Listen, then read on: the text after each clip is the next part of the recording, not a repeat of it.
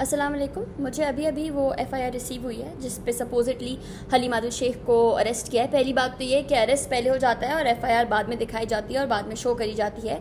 इस एफआईआर का जो डेट ऑफ़ इंसिडेंट है, वो है 1991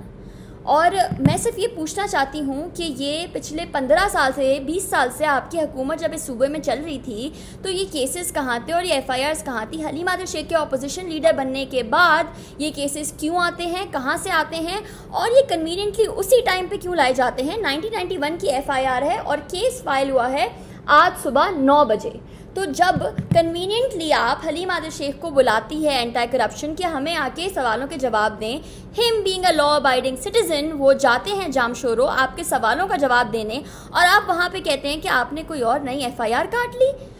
मतलब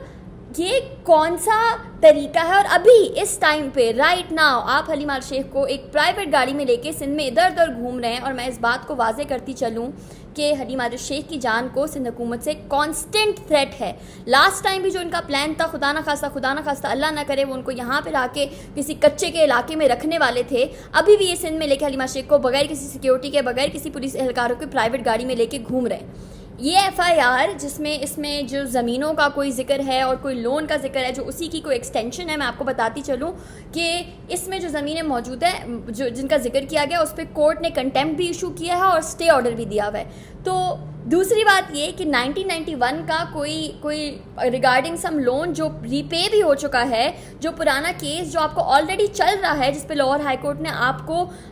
काफ़ी जलील किया in lack for lack of better word आपने वही वापस उसकी एक्सटेंशन दर्ज कर दी, क्योंकि आपका काम सिर्फ़ ये है कि किसी ना किसी तरह हलीमा शेख को पकड़ा जाए एंड दैट्स इट